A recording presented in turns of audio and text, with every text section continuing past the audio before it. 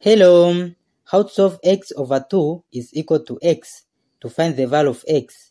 So first we'll minus by x in both sides. Then our equation will be this minus this is x over 2 minus x is equal to x minus x is 0.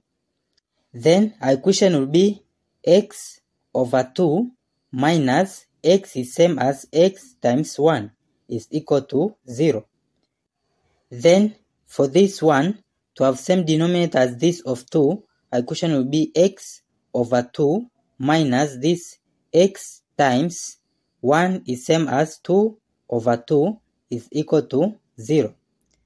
Then the common denominator of 2 and 2 is 2. So it will be over 2 2 divided by 2 is 1. 1 times x is x.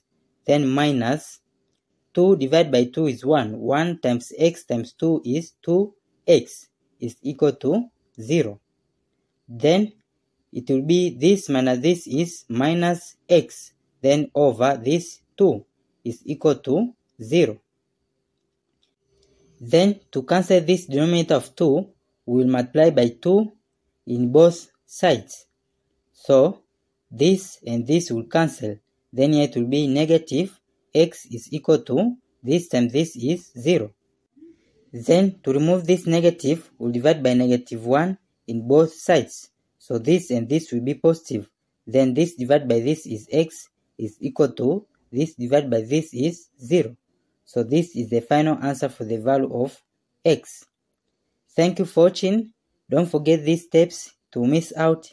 Subscribe to my channel and see you in the next video. Bye bye.